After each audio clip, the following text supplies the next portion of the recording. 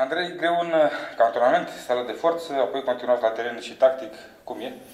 Da, e, e o perioadă grea, uh, dar uh, benefică pentru noi, pentru că uh, fără această perioadă nu, nu putem face față în meciurile care ne așteaptă în campionat.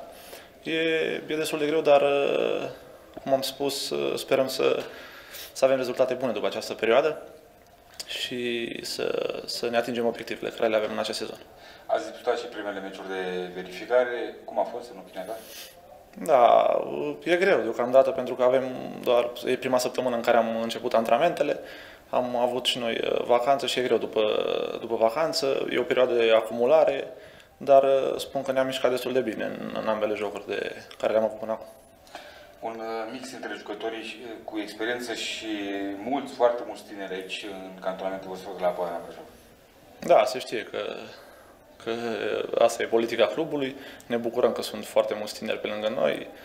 Sperăm să-i ajutăm cu ce putem și noi, cei care avem o experiență mai mare și să, să ne ajute, pentru că avem nevoie. Trei săptămâni până la startul unui uh, nou sezon. Da, într-adevăr, sperăm să, să facem un sezon mult mai bun ca, ca cel de anul trecut, să ne îndeplinim uh, principalul obiectiv, acela de a intra în play și și să, cum am spus, să facem un sezon mai bun ca cel, ca cel trecut. Un sezon uh, în care veți avea din nou alături uh, și suporterii, momentan la 50% din capacitate, dar vor fi, vor fi alături de voi.